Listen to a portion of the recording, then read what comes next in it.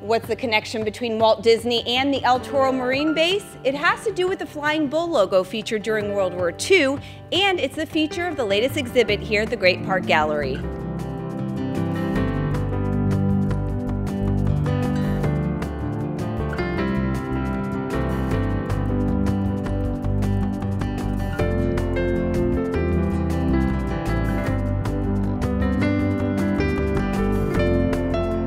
So during World War II, Walt Disney Productions designed over 1,200 insignias and donated it during the war effort. And it just so happens that Walt Disney Productions designed the Flying Bull for Marine Corps Air Station El Toro. Dave Marshall was stationed at the El Toro Marine Base in 1958. You saw the bull, it was located throughout the base, whether it was the bowling alley or at the movie theater or, or just everywhere around, and you just were used to it. Uh, I wear it one. I wear it now because I, I belong to the Marine Corps League, and the chapter, or I should say, the detachment here in Orange County is is named Marine Corps Air Station El Toro. Russ Frank, a retired lieutenant colonel for the U.S. Air Force, is familiar with another Walt Disney logo used on planes he flew. When we started flying, we didn't have a logo, uh, the 303rd. And because we are air sea rescue and we flew a kind of an awkward airplane, an SA 16, we nicknamed it Dumbo. And it caught on, and somebody said, Hey, we're local here in Southern California. Maybe Disney wouldn't mind if we borrowed Dumbo and lived happily ever after.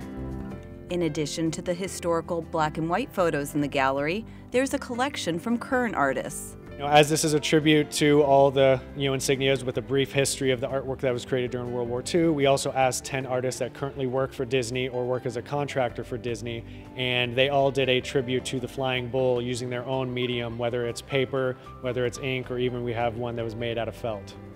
On the back wall, photographs taken by Legacy Project members looking to preserve the past. As part of the Legacy Project, we're six artists who got together in 2003 to document this space for 15 years. The pictures behind us are all representations of the bull that uh, Walt Disney initially drew that were put on, painted on the sides of buildings, all of which are gone except one control tower. That's the only one left now. Uh, the particular photograph that I, have taken that's relevant to the Walt Disney uh, uh show, which we have here, was of the gymnasium with the bull was in the center of the court and the sliver of light just uh, was very fortuitous that I was there at the right time. I kind of like the philosophy of the piece. It's like the light is leaving because not long after that, the gymnasium was torn down. Stephen James Daly, a Disney artist, explains the concept behind his work. When they asked me to do it, that was a reinterpretation of the bull. But when I saw the bull and the other insignias from the examples that they sent me, I was really excited to do more than just the bull. I wanted to incorporate them all into the design. And so it started with Donald riding the bull. And, and then from there, I just it kind of organically flowed in the sketch. I like I like mascots. I like I like logos, and to do something like this was it's, it's an interesting take on a character. And going back to Disney and wartime era, I to take all these characters that everyone knew, like Donald Duck and Mickey Mouse and Pluto and etc., all those characters, and put them into these scenarios where they're protecting America and supporting the troops. It was a pretty interesting take. So being World War II and being the aircraft at the time, we had some of the most advanced aircraft at the time, and um, El Toro was leader in that. So uh, the very precise kind of engineering and schematic type of work that happened here I wanted that to be represented in the artwork.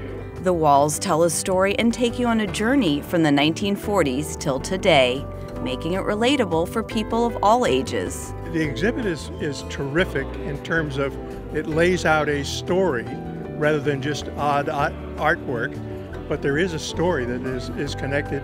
And then when you start to look at some of the other pictures, uh, for example, my friend was looking at the 18th Armored Division, this, this picture that's over behind me uh, 18th Armored. He was in First Armor, which was up in in uh, in Alaska, and so consequently, you know, it, brings back those kinds of memories of saying, oh, I remember that airplane, or I remember those kinds of pictures. Wanted to come and bring the whole family. I know that my kids are familiar with the Disney characters, and we really like the history of Walt Disney in general, and just kind of seeing um, his role in the war and kind of showing the kids that how cartoons were actually used as promotional um, campaigning for World War II and how things have changed over the years, I felt was kind of important.